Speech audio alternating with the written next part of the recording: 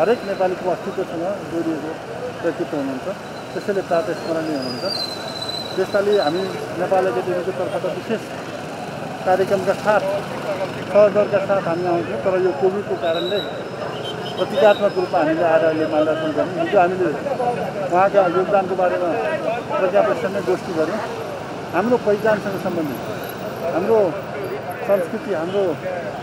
राष्ट्रिय एकताका प्रतीकको रूपमा आउनु भएको हुनाले उहाँ हाम्रो प्रातः स्मरणीय हुनुहुन्छ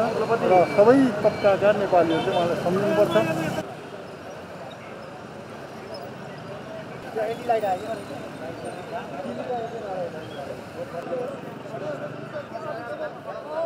पहिला देवप्रकाश